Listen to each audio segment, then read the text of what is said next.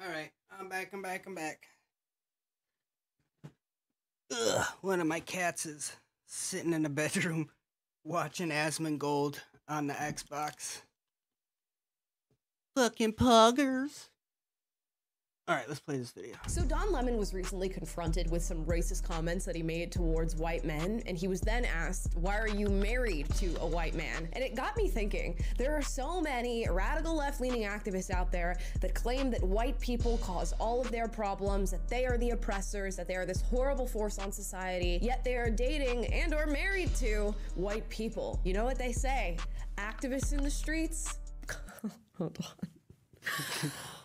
Oh, you know what they say? Activist in the streets, colonizer in the sheets. Let's talk about it. Colonize me, baby. uh, that's funny.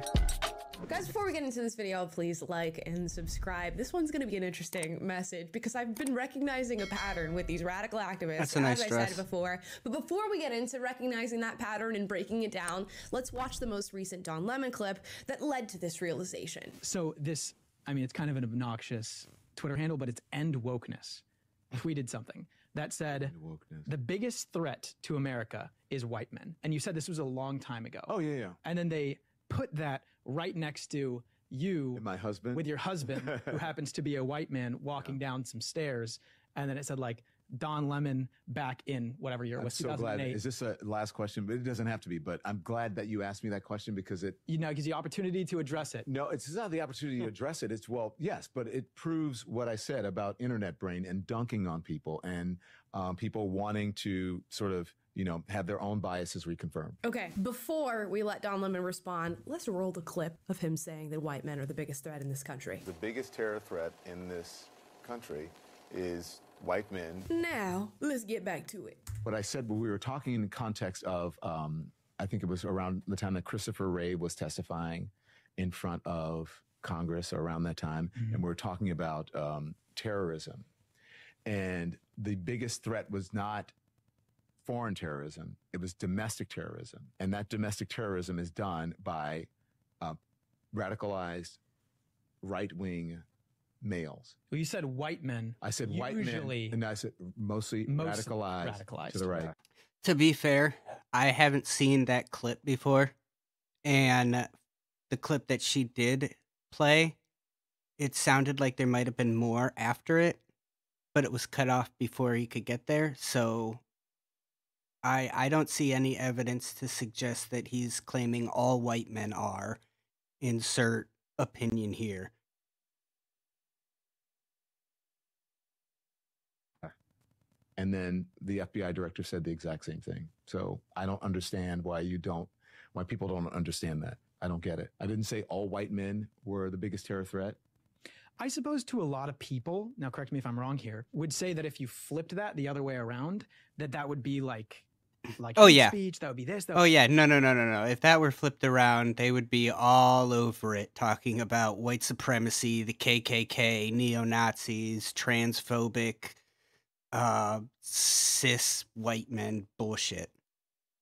would be that. What do you say to? Well, I people don't that know. I think if, that? if, if, if you mean if there were black men, Mhm. if black men were c- creating the, um, you know, were the biggest purveyors of domestic terrorism, then okay, that would be the facts. Those are facts. I don't understand why, especially I didn't hear. I well, I do a little, but not as much. I don't hear white women getting upset about that. I Mhm. don't hear uh, black women or black men. They all go, "Yeah, well, that's true." White guys get mad, but it's the truth. I thought that tweet was a little bit kind of. But just, like, everybody gets mad. Everybody Yeah, is but capable of like, again, whatever. Gotcha, but that one was a gotcha. I would agree. That one was a gotcha. but again, Okay, interesting. Well, now we have a biracial woman calling you out, Don Lemon, so I don't know what you make of that. I'm half white, half black, so maybe we strike both of those categories, and you're not, in fact, correct in saying that. Let's talk about the idea of a slam dunk moment, of course, which is what they're accusing this guy of doing on Twitter, and I can sort of see that. He posted the thing on the internet to sort of say, haha, Don Lemon, in your face, you made this statement, and here's how you truly live your life. But what was Don Lemon doing with the statement about white men being the biggest threat to the United States? Was he truly truly trying to give you an accurate statement and characterization of white people and the threat that white males pose? Or was he trying to make a racist and incendiary comment? And I have to double down on the question that was asked by this interviewer of what if you said that about any other race? What if I went ahead and tweeted out that black men pose the biggest threat to the United States or Jewish men pose the biggest threat to the United States? How do you think that would be perceived and received by other people who are reading that? Mm, not good. I think it would be seen as racist. So let's go ahead and label it what it is, Don Lemon. Which Racism. Is racism. Yeah. You know- Yeah. The second you say something followed by skin color or is a result of skin color, it's racist. There's no such thing as anti-racism. Anti-racism is just not racism. That that's it. It's not anti. You can't be anti-racist. You can just be not racist. hey, I married a white guy because that's who I fell in love with.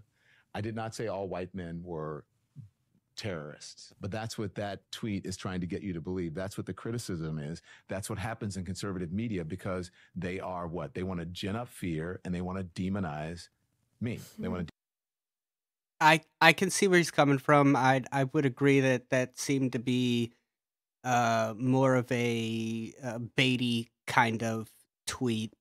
Um but uh, I think he needs to take a little more responsibility in the words he used and maybe in the future try to construct his sentences a little uh uh a little smarter.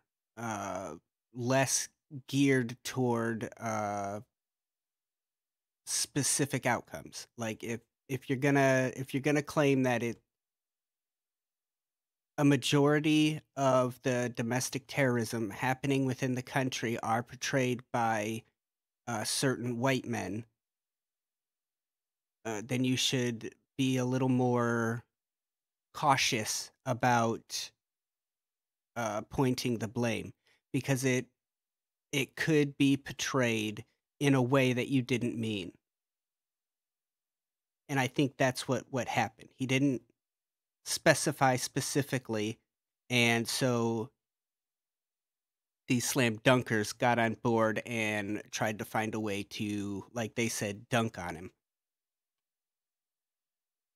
demonize me one because they think i'm on the left two because i was on cnn and three because it's easy to say look at what this black guy is doing obviously the racism is there because they're saying he married a, a white guy and you know they want to do it because it's easy. I'm i'm black i'm gay they think i'm liberal and i was on cnn boom. More than a trifecta. Oh, wow. So now Don Lemon tries to pull the intersectional victim card by pulling out all the different statuses that he holds as a victim in this country. Being black, being gay, being, I guess, perceived to be on the left, even though we all know that Don I don't think that's what he was trying to claim. I think he was pointing out that these are the reasons that these specific individuals are targeting him in the manner of which they are targeting him. I, I don't think that was him dropping uh, his victim cards. He was just pointing out facts that or opinions that he was recognizing. Lemon is on the left, and he says they're trying to paint me out to be racist. In fact, it's quite the opposite, Don. What people are actually doing when they post this quote from you and the image of you and your husband getting married, they're pointing out the fact that you might not actually be a racist. You don't actually hate white people, and in fact, maybe you don't actually believe the things that you are saying out loud on TV. That's the criticism being levied to you. And instead of making that point and saying, you know, that's not truly how I feel about alt white men, you have to defend the initial quote and go on to play the victim card about all of your other identities. And I get that it must be a struggle for Don Lemon. See, I didn't get that feeling. I didn't I didn't get the impression that he was trying to uh, play a victim. I, I never got that opinion from what I've seen thus far. Is he defending his position? Yeah, I could I definitely see that, but I don't think it's I I I fail to see the uh victim mentality coming out of what he has to say.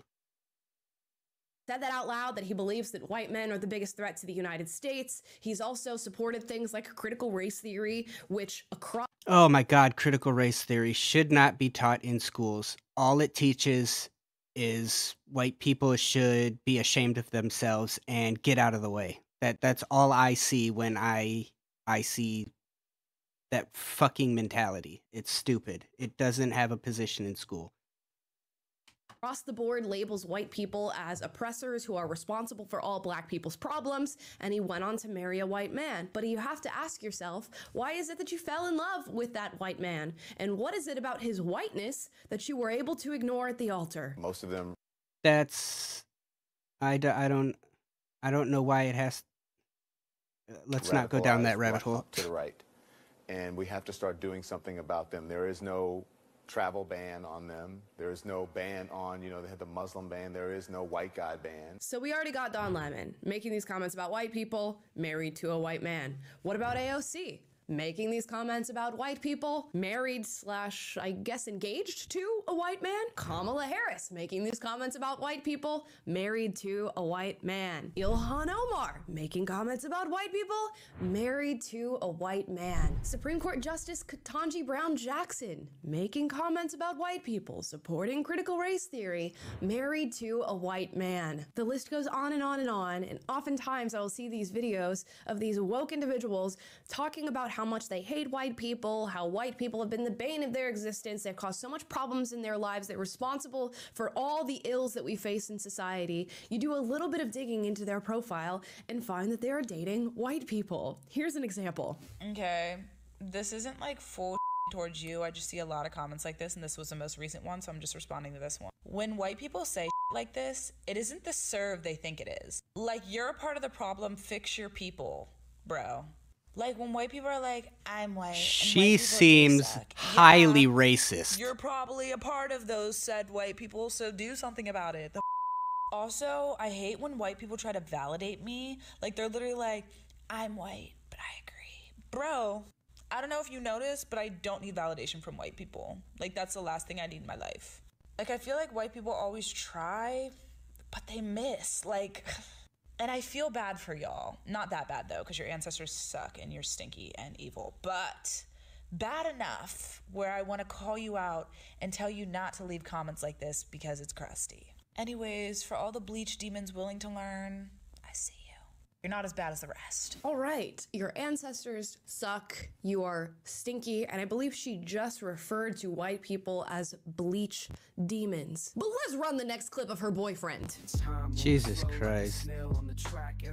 Snail on the track, every word I spit, making heads nod back. My beats so smooth, they calm your mind. Thoughts Okay. unwind. BFFR. Look at this girl. She's on the beach, just cuffed up next to one of those so called bleach demons with the sucky ancestors who stinks, and they're kissing and hugging and cutting it up on the beach. What exactly is going on here? I'll let you guys marinate on that. Think about it. Leave Yeah, thoughts I've in the got- comments. We have one more example. I've got nothing to say about that on. lady. This is She needs to be put on some meds and receive a formal so education. The white population is decreasing. The white British population has decreased by 600,000, while the minority population has increased by 1.2 million. So, yes, lads, we're winning. Yes, lads, I guess we are winning because she gets to go and spout out all this racist garbage. I kind of want to unravel that one. Why are you separating yourself from the white people? You're British, right? You are a citizen of that country. You are all British. There is no us versus them. There is a divide, and it's really irritating. Who gives a fuck what your skin color is? Are you a prick or are you not? Period. The end. And then come home to a white man who she's dating who apparently accepts that she is saying these things publicly. Here's the photo. And you know what, guys? I'm truly trying to figure this out, but the math is not mathing. Why is it that time and time again I can find clips of these activists saying things that are so derogatory towards white people, and then you come to find out that they're in a relationship with a white person? If they truly believe the things they're saying, is this some sort of evil, maniacal plan to breed whiteness out of the population? They're linking up with these white people to create a bunch more mixed babies. Okay, fine. If we're gonna separate from black and white, and then there are those individuals who are in between, you can't mix breed and then breed out a specific race because what you're doing is breeding out your race too because you're stuck with an entire country full of half and half.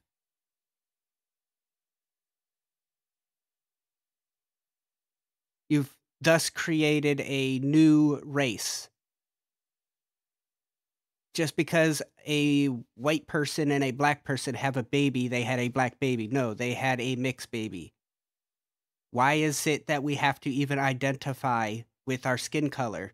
That child isn't mixed. That child is fucking American. At least in this country, it would be American. Depending on where you're from, it's that country. Insert nationality here. babies like me, so whiteness no longer exists. And I wish I had this clip, but it is for some reason nowhere to be found on the internet. There's this Asian girl who says that her plan is to go around and get in relationships with as many white people as possible to breed them out of society, and that she hopes that other people of color do the same so that whiteness At that point, you're breeding your own race out too.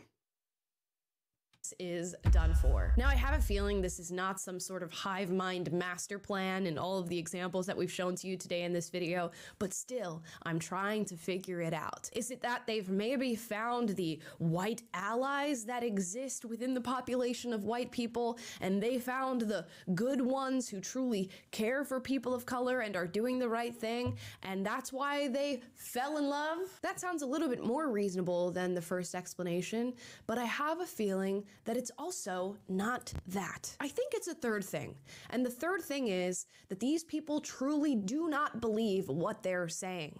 They go home to white people that they managed to fall in love with because white people are not all bad. They do not signify the oppression that we all face in our life. They are not responsible for all of the world's problem. They are not the biggest threat to this country. They are not bleach demons who have sucky ancestors and stink. They're in fact normal people, and race is one of the least significant factors in all of our lives. And that's why you've managed to find a relationship with a white person who you love. And you'll still go out and say these things about white people, do your little racist rant, because that is part of the accepted narrative of today. And if you're going to be racist towards a group of people, it better be white people, because that's the only group you're allowed to be racist towards. There's a sort of cognitive dissonance being displayed here that truly needs to be addressed. And while it's fun and sort of funny to hear these statements from these people and find out that they are in fact in a relationship with a white person, it's more interesting than it is funny. And we should ask ourselves why this is the case. And again, I think it's my third hypothesis that if you can say these things about white people and then go on to date one, you probably don't believe the things you're saying, at least not fully. And instead of doubling down on your racist comments, maybe you should do some internal investigation as to how you managed to find yourself in your current relationship. How has the love that you had for this person transcended the racial narrative that you are continuing to spout online and in public? And if you can manage to find love for the white person you're in a relationship with, why can't you manage to find that love for other white people? But guys, I would love to hear your thoughts on this subject matter.